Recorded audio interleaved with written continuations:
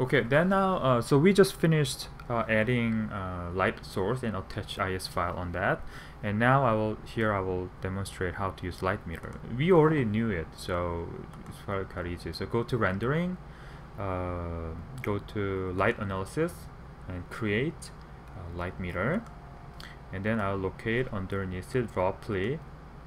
And then I'll change the size here. Uh, go to okay then actually I change the size here. I'll change it to 10 feet and width 10 feet. That's it. And then probably light segments I'll just at least 10 by 10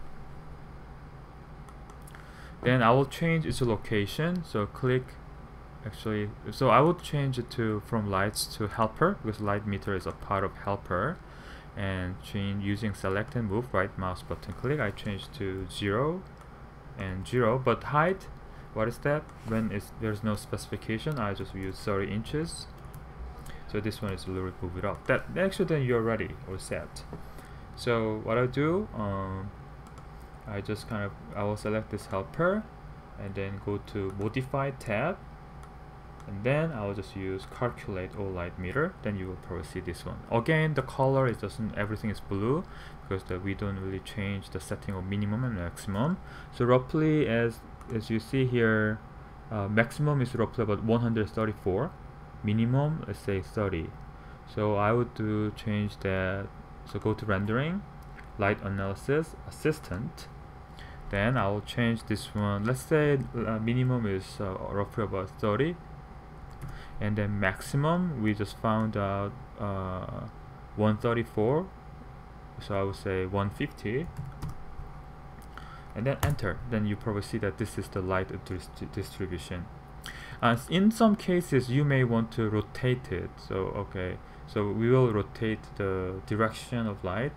So temporarily I hide, hide uh, this light meter hide the selection. And then what I do I will select this light meter. Okay I need to change my selection filter to light.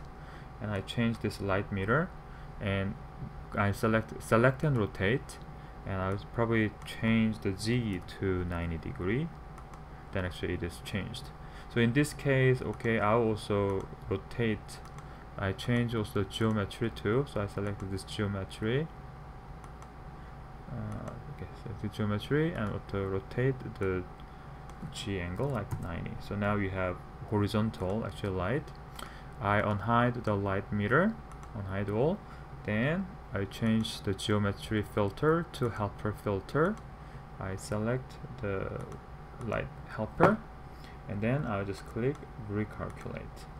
Then you see that kind of this one is horizontally uh, distributed lighting. And then all you have to do you have to export to CSV file. We already covered this one so you know. So uh, using your rapid file uh, locate but make sure that uh, here is something tricky part is you should locate your light meter under the geometry. Otherwise uh, the geometry will block the light distribution that all you have is just shadow okay good luck. Uh, okay and then if you have any problems contact uh, your first contact your friends and and then TAs and also email me. Okay thanks